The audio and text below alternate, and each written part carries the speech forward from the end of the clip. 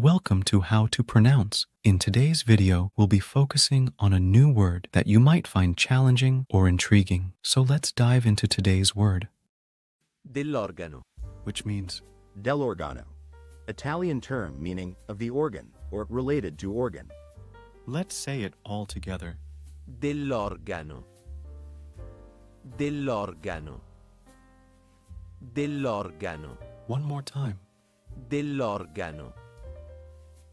Dell'organo. Dell'organo. Thank you for joining us on this adventure in pronunciation.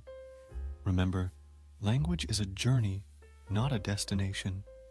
Keep exploring, experimenting, and expanding your linguistic horizons. We'll see you next time.